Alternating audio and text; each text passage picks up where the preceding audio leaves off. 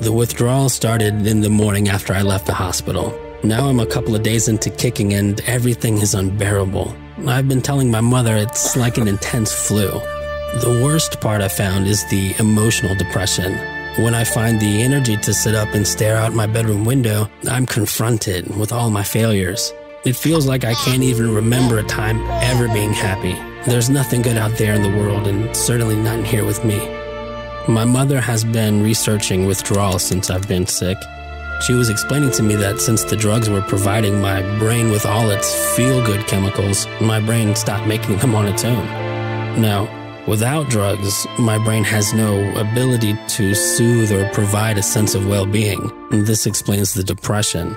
I've been taking hot showers to calm my aching muscles. My appetite hasn't been there either. What my mother told me about the brain gave me some hope, though. Although I'm stuck in these feelings right now, my brain will eventually heal. I see how I damaged it with drugs, but I know it can get better. Maybe someday soon I'll feel okay again. And for now, I have to hold on.